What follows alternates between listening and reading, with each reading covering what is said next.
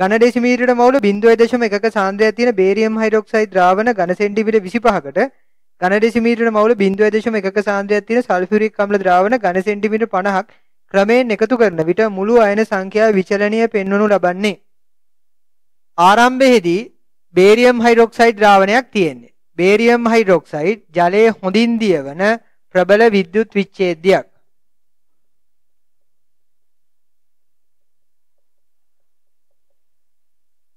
එතකොට ද්‍රාවණයේ බේරියම් දෙක දන අයන සහ හයිඩ්‍රොක්සයිඩ් අයන තියෙනවා.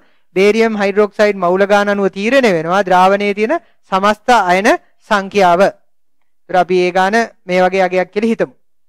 ඊළඟට සල්ෆියුරික් අම්ල ද්‍රාවණයේ ක්‍රමයෙන් මේ ද්‍රාවණයට යොදනකොට බේරියම් හයිඩ්‍රොක්සයිඩ් සල්ෆියුරික් අම්ලයක ප්‍රතික්‍රියා කරලා බේරියම් සල්ෆේට් සහ ජලය හැදෙනවා. බේරියම් සල්ෆේට් අවක්ෂේපයක් තැම්පත් වෙනවා හැදෙන ජලය ද්‍රාවණයට එකතු වෙනවා. එතකොට අපිට තේරෙන්න ඕනේ දේ තමයි බේරියම් සල්ෆේට් ජලයේ දිය වෙන්නේ මද වශයෙන්. එතකොට බේරියම් සල්ෆේට් නිසා ද්‍රාවණයට අයන ලැබෙන්නේ ඊටාම සුළු ප්‍රමාණයක්. ජලයේ ස්වයං අයනීකරණය ලැබෙන අයන ප්‍රමාණය සෑහෙන අඩුයි. ඒ නිසා බේරියම් හයිඩ්‍රොක්සයිඩ් කියන ජලයේ හොඳින් දියවන ප්‍රබල විද්‍යුත් විච්ඡේදයත් සල්ෆියුරික් අම්ලයත් ප්‍රතික්‍රියා කරපුවාම හැදෙන ප්‍රභේද දෙකම ද්‍රාවණයට අයන ලබා දෙන්නේ ඊටාම මද වශයෙන්. එතකොට මේ ප්‍රතික්‍රියාව සිද්ධ වෙන්න සිද්ධ වෙන්න මේ ද්‍රාවණයේ තියෙන අයන ප්‍රමාණය අඩු වීගෙන යනවා. එතකොට බේරියම් හයිඩ්‍රොක්සයිඩ් සහ සල්ෆියුරික් අම්ලය ප්‍රතික්‍රියා කරන්නේ එකට එක මවුල අනුපාතේ. ද්‍රාවණ දෙකේ සාන්ද්‍රණය සමානයි. බේරියම් හයිඩ්‍රොක්සයිඩ් ද්‍රාවණේ සල්ෆියුරික් අම්ල ද්‍රාවණේ. සමාන පරිමා මිශ්‍ර වුණාම මේ ද්‍රාවණේ බේරියම් හයිඩ්‍රොක්සයිඩ් ඉතිරිත් නැහැ, සල්ෆියුරික් අම්ලය ඉතිරිත් නැහැ. එතකොට අවක්ෂේපෙච්ච බේරියම් සල්ෆේට් සහ ජලය පවතින.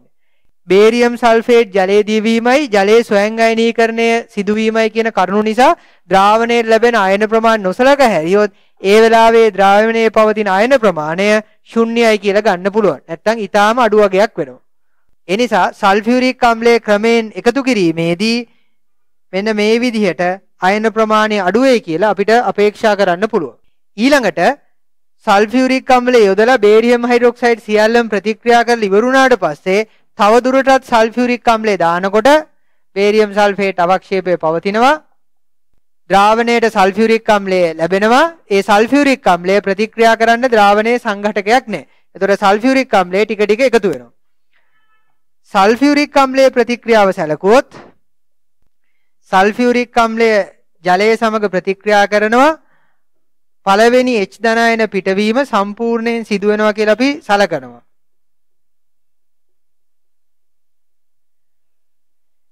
දෙවැනි H ධනායන පිටවීම සමතුලිතතාවක් නිර්මාණය කරන්නේ.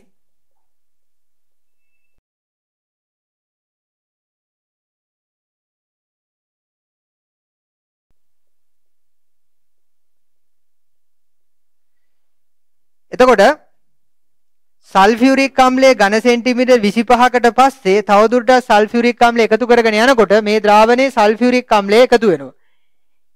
මේ ප්‍රතික්‍රියා නිසා ද්‍රාවණයට හයිඩ්‍රෝනියම් අයන බයිසල්ෆේට් අයන සහ සල්ෆේට් අයන ලැබෙනවා. එතකොට මේ ද්‍රාවණයේ පවතින අයන ප්‍රමාණය සල්ෆියුරික් අම්ලය තවදුරටත් එකතු කරනකොට වැඩි වීගෙන යනවා. අපි මෙහෙම කල්පනා කළොත් බයිසල්ෆේට් අයන සම්පූර්ණයෙන් විඝටනය වෙන්නේ නැහැ කියලා හිතුවොත් සල්ෆියුරික් අම්ලය නිසා ද්‍රාවණයෙන් ලැබෙන අයන ප්‍රමාණය සල්ෆියුරික් අම්ල මවුල ගාන වගේ දෙගුණයයි. එතකොට ආරම්භයේදී මේ ද්‍රාවණයේ යම්කිසි අයන මවුල ප්‍රමාණයක් තිබුණා නම් ඒ අයන මවුල ප්‍රමාණය බේරියම් හයිඩ්‍රොක්සයිඩ් මවුල ගාන වගේ තුන් ගුණයයි. බේරියම් හයිඩ්‍රොක්සයිඩ් ද්‍රාවණයේ සල්ෆියුරික් අම්ල ද්‍රාවණයේ සාන්ද්‍ර සමානයි. එතකොට බේරියම් හයිඩ්‍රොක්සයිඩ් ද්‍රාවණයේ ආරම්භයේ ඝන සෙන්ටිමීටර 25ක පරිමාවක් ගත්තේ. එතකොට ඝන සෙන්ටිමීටර 50ක් සල්ෆියුරික් අම්ලය යොදලා තියෙන වෙලාවට අතිරික්තව යොදලා තියෙනවා සල්ෆියුරික් අම්ලයෙන් ඝන සෙන්ටිමීටර 50ක්. ආරම්භයේ තිබුණු බේරියම් හයිඩ්‍රොක්සයිඩ් මවුල ගානයි අතිරික්තව පවතින සල්ෆියුරික් අම්ල මවුල ගානයි සමානයි. එතකොට ආරම්භයේ තිබිච්ච බේරියම් හයිඩ්‍රොක්සයිඩ් මවුල ගාන වගේ තුන් ගුණයක් ද්‍රාවණයේ තිබිච්ච සමස්ත අයන මවුල ගාන. මේ ප්‍රතික්‍රියා විතරක් සිදු වෙනවා කියලා ගත්තොත් ද්‍රාවණයේ තියෙන සමස්ත අයන මවුල ගාන සල්ෆියුරික් අම්ලේ ඝන සෙන්ටිමීටර් 50ක් යොදපු වෙලාවේදී සල්ෆියුරික් අම්ල මවුල ගාන වගේ දෙගුණයයි. බේරියම් හයිඩ්‍රොක්සයිඩ් ද්‍රාවණයත් එක්ක ප්‍රතික්‍රියා කරන්න සල්ෆියුරික් අම්ලය යෙදුවා සම්පූර්ණයෙන් ඝන සෙන්ටිමීටර් 50ක්. එතකොට මේ ඝන සෙන්ටිමීටර් 50න් ඝන සෙන්ටිමීටර් 25ක් වැය වුණා බේරියම් හයිඩ්‍රොක්සයිඩ් සමග ප්‍රතික්‍රියා කරන්න. එතකොට මේ අවස්ථාව වෙනකොට ප්‍රතික්‍රියා නොකර අතිරික්ත සල්ෆියුරික් අම්ලයේ යොදලා තියෙන පරිමාව ඝන සෙන්ටිමීටර් 25ක් වෙනවා. යොදපු සල්ෆියුරික් අම්ල ද්‍රාවණයේ සාන්ද්‍රණයයි බේරියම් හයිඩ්‍රොක්සයිඩ් ද්‍රාවණයේ සාන්ද්‍රණයයි සමානයි.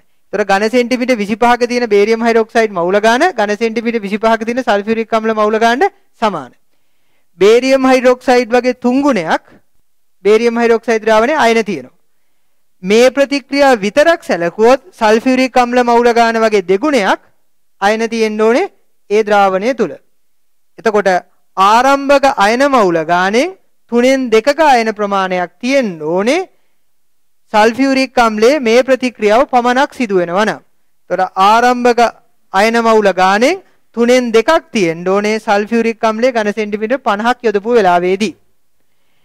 හැබැයි සල්ෆියුරික් අම්ලයේ මේ ප්‍රතික්‍රියාවත් සිදු වෙනවා. එතකොට මේ ප්‍රතික්‍රියාව නිසා ද්‍රාවණයට අතිරික්ත අයන ප්‍රමාණයක් ලැබෙනවා.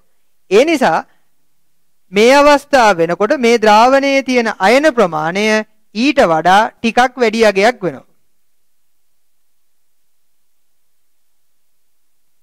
හැබැයි ඒ අයන ප්‍රමාණය හරියටම ආරම්භයේ තිබිච්ච අයන ප්‍රමාණයට සමාන වෙන්නේ නැහැ. ඒකට හේතුව සල්ෆියුරික් අම්ලයේ දෙවෙනි විඝටනය සම්පූර්ණයෙන් සිදු නොවන නිසා, භාගික විඝටනයක් නිසා. දැන් ප්‍රස්තාර දිහා බලන්න. පළවෙනි පිළිතුරට දීලා තියෙන ප්‍රස්තාරය ගත්තොත් ඒ ප්‍රස්තාරයේ ඝන සෙන්ටිමීටර් 25ක පරිමාවක් සල්ෆියුරික් අම්ලයෙන් යෙදුවට පස්සේ ද්‍රාවණයේ අයන මවුල සංඛ්‍යාව 0යි කියලා තියෙන්නේ. එහෙම වෙන්න බෑ. ඒ නිසා පළවෙනි ප්‍රස්තාරය වැරදි. දෙවෙනි ප්‍රස්ථාරය ගත්තාම දෙවෙනි ප්‍රස්ථාරේ මීට සමාන හැඩයක් තියෙනවා. හැබැයි ඒ ප්‍රස්ථාරේ දෝෂයක් තියෙනවා. ආරම්භක මවුල ගාන සල්ෆියුරික් අම්ලයෙන් ඝන සෙන්ටිමීටර් 50ක් යොදපු අවස්ථාවේ මවුල ගාන සමාන වෙන්නයි ඇඳලා තියෙන්නේ. තුන්වෙනි ප්‍රස්ථාරය ගත්තොත් ආරම්භක අයන මවුල සංඛ්‍යාවට වඩා සල්ෆියුරික් අම්ලයේ ඝන සෙන්ටිමීටර් 50 යොදපු වෙලාවේදී අයන මවුල සංඛ්‍යාව වැඩි වෙන්න ඇඳලා තියෙන්නේ. ඒ නිසා තුන්වෙනි ප්‍රස්ථාරය ගැලපෙන්නේ නැහැ. හතරවෙනි ප්‍රස්ථාරය ගත්තොත් එහෙම ආරම්භක අයන මවුල සංඛ්‍යාවෙන් භාගයක් විතර වෙන්න තමයි සල්ෆියුරික් අම්ලයේ ඝන සෙන්ටිමීටර් 50ක් යෙදුවට පස්සේ ද්‍රාවණයේ අයන මවුල තියෙන්නේ. ඒ නිසා හතරවෙනි පිළිතුර නිවැරදි පිළිතුර වෙන්න බෑ. පස්වෙනි පිළිතුර නිවැරදි පිළිතුර විය නොහැකි. ඒකට හේතුව ආරම්භයේ බේරියම් හයිඩ්‍රොක්සයිඩ් ද්‍රාවණයේ අයන මවුල සංඛ්‍යාව ශුන්‍යයි කියලා තියෙනවා. එතකොට ආරම්භයේදී බේරියම් හයිඩ්‍රොක්සයිඩ් ද්‍රාවණයේ අයන තිබිච්ච නිසා පස්වෙනි ප්‍රස්තාරේ නිවැරදි වෙන්න බෑ. එතකොට මේ දීලා තියෙන ප්‍රස්තාර වලින් මේ ප්‍රස්තාරට කිට්ටුවෙන්ම යන ප්‍රස්තාරයක් තියෙන දෙවෙනි ප්‍රස්තාරය නිසා මේ ප්‍රශ්නේ නිවැරදි පිළිතුර අංක 2 කියලා ලකුණු කරන්න පුළුවන්. මේ ප්‍රස්තාරේ මුළු අයන සංඛ්‍යාව නැතුව අයන සාන්ද්‍රණය කියලා තිබ්බනම් මේ විදිහට කල්පනා කරලා හරියන්නේ නැහැ. ඒකට හේතුව මොකද?